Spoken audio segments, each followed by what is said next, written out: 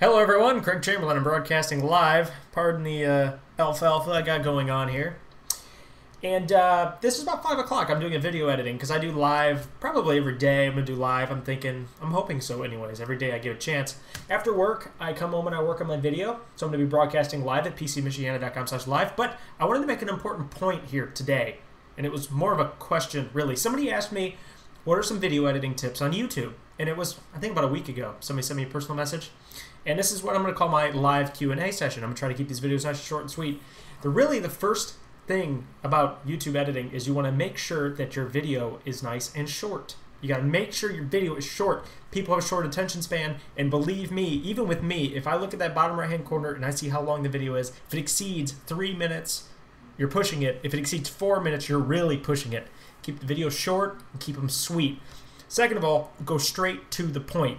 Now, I learned early on, biggest lesson I ever learned was that you don't start a video with a one minute description of what you're going to do in the video.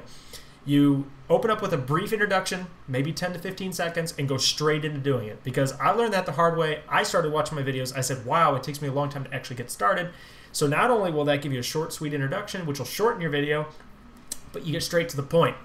Uh, rule number three no dead airspace. Because one of the biggest problems I've seen with a lot of screencasts out there is that you get then click here to run. And once it opens up, then click download. Cut all that dead space right out of it.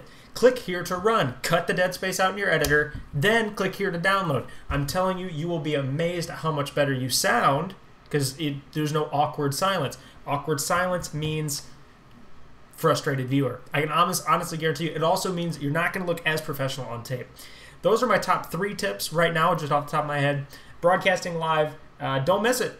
I'm, I'm on right now, and I'm going to go eat some pizza here in a second, but I'm going to go ahead and upload this to YouTube, and I'm going to be on, today is December 2nd. I'm probably going to be on till like 8, maybe. So I'm going to be back on here if I'm not on right now, and uh, come check it out. Having a good time.